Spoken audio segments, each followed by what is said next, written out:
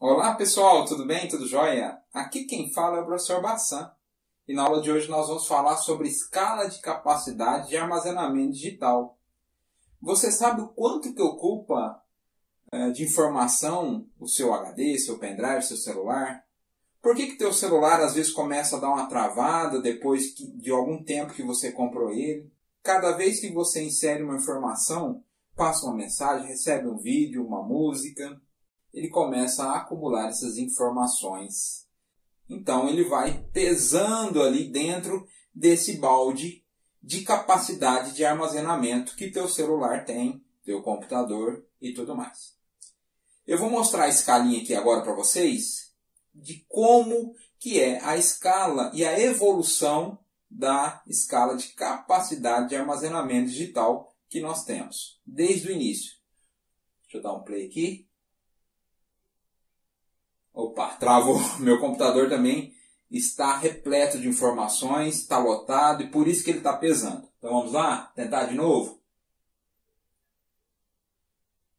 Acho que eu vou ter que dar uma rodada aqui na manivela. Quem sabe se soprar não funciona, né? Então vamos lá. Opa, não é que deu certo? Então aqui nós temos a escala de capacidade de armazenamento digital. Olha só, nós temos do bit até o yottabyte. O bit é a menor unidade digital que nós temos eh, na informática, né, no meio aí de informações. Depois tem o byte, o kilobyte, megabyte, gigabyte, terabyte, petabyte, hexabyte, zettabyte e yottabyte. Sabe uma informação interessante que o primeiro HD que nós tivemos, o que é o HD? Olha ele aqui. Esse é um HD.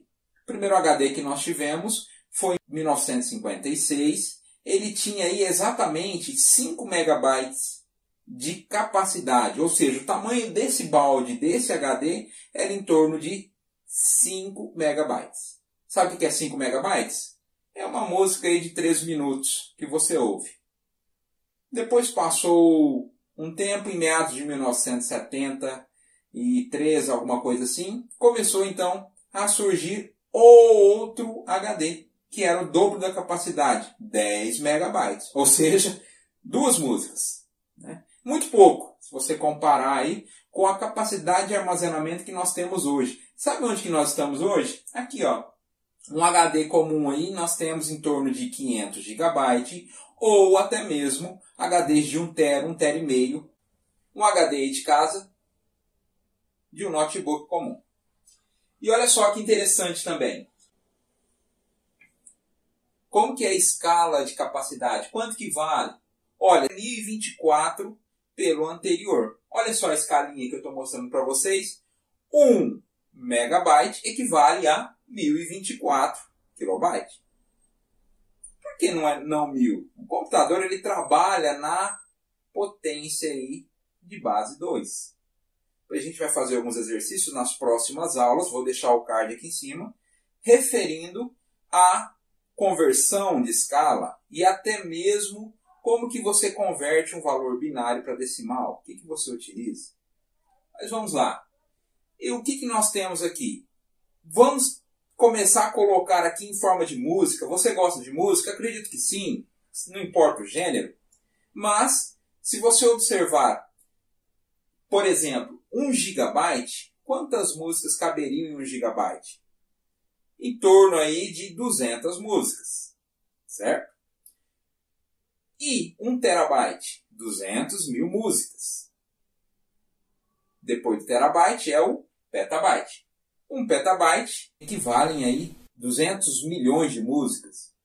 Exabyte, 200 bilhões. Zettabyte, 200 trilhões. E 1 iotabyte, 200 quatrilhões.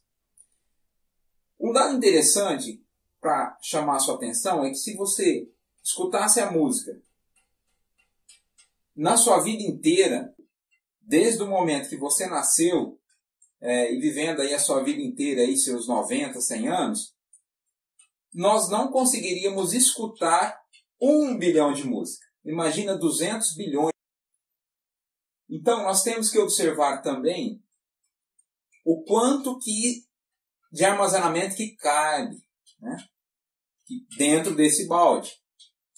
O yottabyte, ele não existe. Ele está sendo estudado. Né, bem próximo aí, nós teremos ele já fisicamente para ser usufruído por grandes empresas e redes na internet. Porque o fluxo de informação é gigantesco.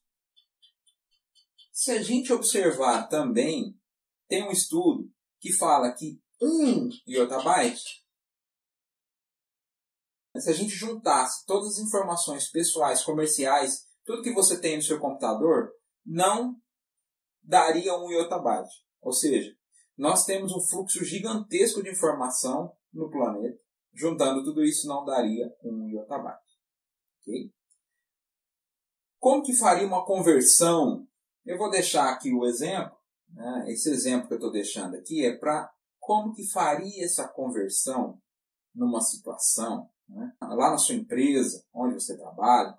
Como seria essa situação para você entender até quando que você vai ter uma capacidade de armazenamento digital na sua empresa. Aqui a gente está falando apenas da capacidade de armazenamento digital, mas também tem a transferência de informação, transferência de dados. Quando você está transferindo um dado de um lugar para outro, de uma pastinha para outra, da internet para qualquer lugar do mundo. Então, nós também temos a escala de velocidade mas vamos falar aqui da capacidade de armazenamento.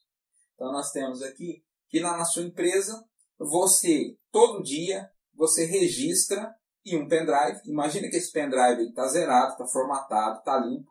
Você registra aí em torno de 50 megabytes de informação todo dia. Cadastro de cliente, ou seja, outra natureza, vendas, estoques. Vamos pensar aqui em cadastro de cliente, ok? Então, todo dia você cadastra lá e no final do dia deu em torno de 50 megabytes de informação para essa operação. E agora, o que, que nós vamos fazer? Se você pegar esse pendrive que tem, olha o tamanho dele, ele tem 8 GB de informação. Então eu estou trabalhando unidades diferentes. A primeira coisa que a gente tem que tomar atenção é unidade diferente. Aqui nós estamos falando de megabyte e aqui nós estamos falando de gigabyte. Então nós temos que transformar. Como que faz a transformação? Vamos agora no caderno. Então nós temos aqui que todo dia é consumido 50 megabytes. E a capacidade do pendrive, que é o balde, são 8 gigabytes. Só que perceba que essa unidade é diferente dessa, então eu tenho que transformar ela, as duas tem que ser a mesma, né? Então como que nós vamos fazer? Eu sei que pela escalinha 1 GB é igual a 1024 MB, correto? Muito bem. E 8 GB? Bom, 8 GB é simplesmente um valor desconhecido. Tá? E aí agora faremos a regrinha aqui de 3, que x é igual a 8 vezes 1024. Entretanto, o resultado aqui é x é igual a 8.192, o que? MB. Megabyte. Perceba que agora nós estamos falando a mesma língua. Então, vamos prosseguir o cálculo. Sabemos também que todo dia, é, por dia, ele consome quanto? 50 megabytes, correto? E X dias, que é o enunciado, está perguntando quantos dias aí para preencher o pendrive, né? preencher esse balde de capacidade. Eu sei que o tamanho do balde é 8.192 MB.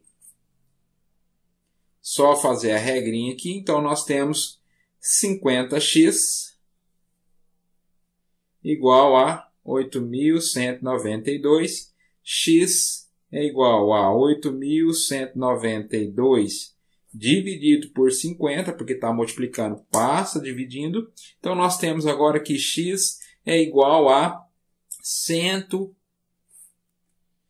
e 63,84 dias, ou seja, em torno aí de 164 dias para preencher esse pendrive.